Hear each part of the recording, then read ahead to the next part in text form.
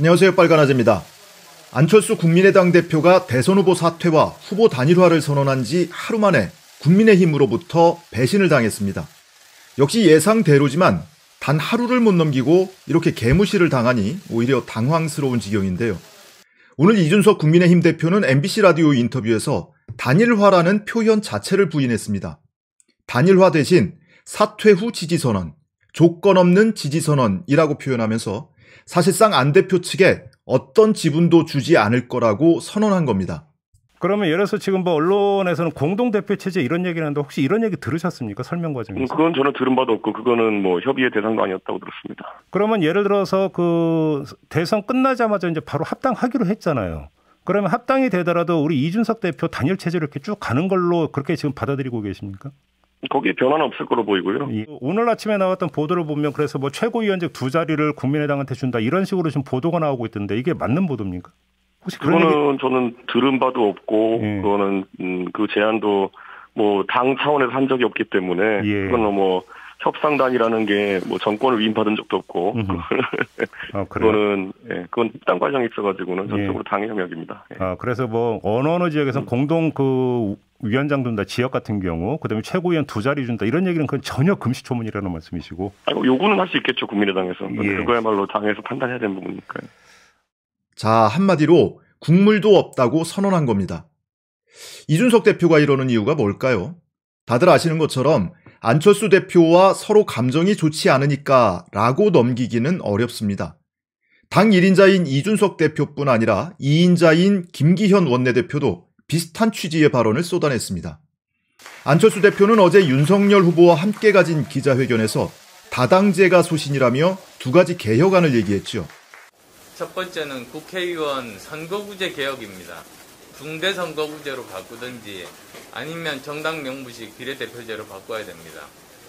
그 다음 또 두 번째로는 대통령 투표에 결선 투표제를 도입을 해야 됩니다. 그런데 김기현 원내대표는 오늘 KBS 라디오 인터뷰에서 그건 본인 생각일 뿐이라고 가볍게 밟아버렸습니다. 정치 당연히 개혁해야죠. 예. 그때 뭐 내용이 뭐지 뭔지가 중요하죠. 정 뭐 뭐든지 바꾸면 개혁은 아니잖아요. 예. 계약도 있는 것인데 예. 안철수 예. 대표가 기자회견에서 했던 말은 자세하게 말씀하셨던 건 아니고요. 이미 그 저희들이 그, 그 대- 후보 통합, 야권 통합을 할때 음. 제가 듣기로는 무슨 아무런 조건 없이 이번에 확실하게 윤청, 윤석열 후보를 지지하겠다 라고 한 것으로 어, 결론을 내고 사, 자세한 내용들은 앞으로 또 더 논의를 할 것으로 이렇게 이해- 이해하고 있기 때문에요. 음. 뭐 그게 무슨 조건이 되거나 그런 건 전혀 아니었다고 이해하시면 될 것 같습니다. 조건이 아니고 이제 명분이나 가치의 측면인데 거기에 관해서 옆에 있던 이제 윤석열 후보 같은 경우에 답변을 안 하시고 이제 그렇게 기자회견이 끝나서 그래서 이제 원내대표께 여쭤보는 건데요. 뭐 안철수 예. 후보가 본인의 얘기를 하신 거니까 음. 본인의 생각이 그렇다는 거 하고 우리가 야권 통합을 할 때 뭐 그런 논의를 한 거하고는 전혀 별개의 문제고요. 그렇군요. 이번에 후보 통합을 하는 과정에서는 아무런 조건 없이 어. 서로 이번에는 윤석열 후보를 당선시키자는 목적을 가지고서 합쳐진 것이니까 그 문제가 필요하면 나중에 논의하면 되는 것입니다. 이렇게 후보 사퇴와 단일화를 선언한 지 단 하루 만에 국민의힘 대표와 원내대표가 한 목소리로 안 대표를 개무시한 겁니다. 사실 이런 일은 어제 기자회견장에서 이미 예견됐습니다.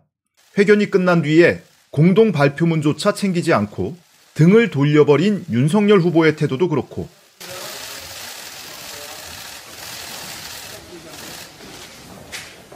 이거 필요 없으세요? 이거 필요 없으세요? 안철수 대표의 정치 개혁안에 동의하는 거냐는 기자 질문에 답변을 회피하던 윤 후보의 반응도 그렇습니다. 정동영 거를 안, 윤 후보도 동의를 하시는지 궁금하거든요. 그런 방식의 정치 개혁 그거 나중에 저희들이 다시 말씀드릴게요. 이- 이 정도 하시면 하나만 더 받아주면 안 될까요? 가치도 철학도 심지어 신뢰도 없는 단일화. 세상 사람들은 그런 걸 야합이라고 부릅니다. 안철수 대선 후보의 선거 운동을 돕던 지지그룹은 오늘 안 후보가 당원과 지지자를 배신했다며 맹비난했습니다. 김만의 국민의당 대외협력지원단장은 급기야 이재명 후보 지지 선언을 했습니다. 안철수 후보는 당원과 지지자를 배신하고 윤석열 후보와 국민의힘은 안철수 후보를 배신하는 우픈 장면입니다. 내가 그 사람 뽑은 손가락 자르고 싶다고 또 그럴 겁니다. 윤석열 후보를 지지하기로 했습니다.